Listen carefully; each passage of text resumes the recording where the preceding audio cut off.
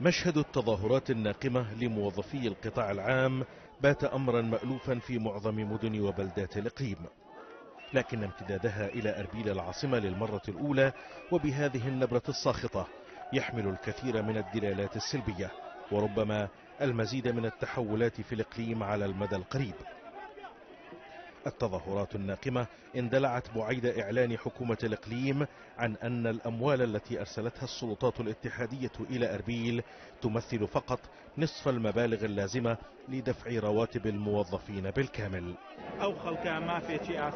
نحن في الحكومة المحلية بأربيل نؤيد مطالب هؤلاء المتظاهرين العادلة والمشروعة. فهم يؤدون وظائفهم بإخلاص لكن حكومة الإقليم تهضم حقوقهم. وهذه التظاهرات هي لممارسة الضغوط على الحكومة لتذعن لمطالبهم. وإلا فإن المواطنين سيتبعون الأسلوب الذي يرونه مناسبا.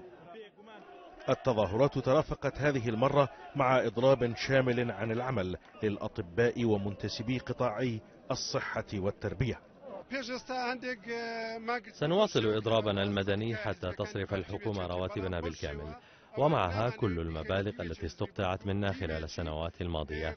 ونحمل حكومتي بغداد وأربيل مسؤولية ما يحصل لأنهما تنفذان أجندات تركية وإيرانية في الإقليم.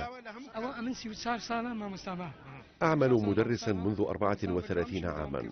الأوضاع المعيشية القاسية أجبرتني على العمل بأجور يومية لأن راتبي الذي أتقاضاه مرة كل شهرين أو ثلاثة لا يلبي أبسط متطلبات المعيشة وسنواصل الإضراب حتى تستجيب الحكومة لمطالبنا.